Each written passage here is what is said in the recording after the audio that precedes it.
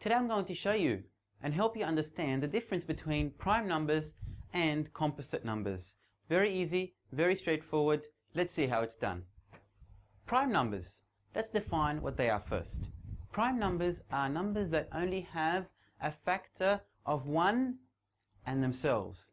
In other words, an example here of 3 is a prime number because it only can, can become a 3 when we times 1 by 3. So 1 times 3 is 3. So the only factors available are 1 and 3. No other factors for 3. This is why it's called a prime number. So the factors of 3 are 3 and 1, meaning 1 and itself.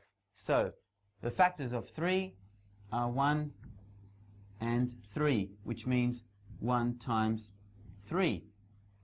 They are the factors of 3. It's a prime number because it has only two factors. 5, again, 1 and 5. 1 times 5 is 5. So only two factors. Prime numbers only have two factors. 11, 1 times 11. Again, it's a prime number. It only has two factors. 1 times 11. 51, same thing. 1 times 51.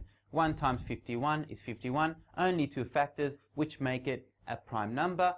Another last example for the prime numbers, 1 times 29.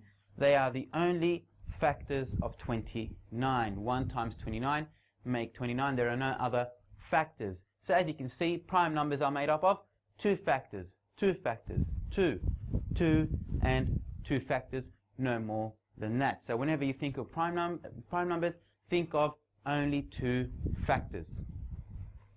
Composite numbers, on the other hand, they have more than two factors. They can have two, four, six, sometimes eight, sometimes even 12 factors. So they are composite numbers, while prime only two factors. So the composite, let's see 8 and find the factors of 8. We know 1 times 8 is 8. 2 times 4 is also 8. So as you can see here, we have more than two factors. We have four factors. 1 times 8 is 8. 2 times 4 is 8. Therefore, because it has more than two factors, it is a composite number. 14, same thing. 1 times 14 make 14 and 2 times 7 also make 14. So more than two factors. So straight away, more than two factors, that means it's not a prime number, it must be a composite number. 22.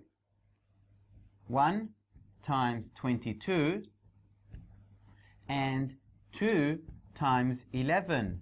1 times 22 make 22. 2 times 11 is 22. As you can see, more than two factors. That means we have a composite number. 22 is a composite number. 30.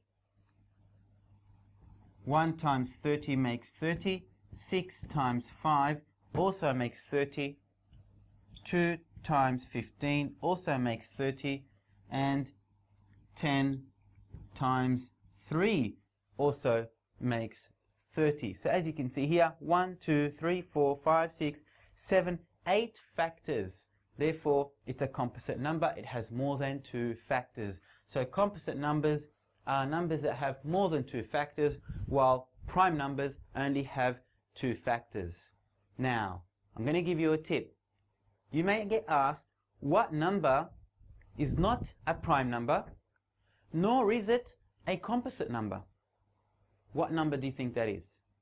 It's the number 1.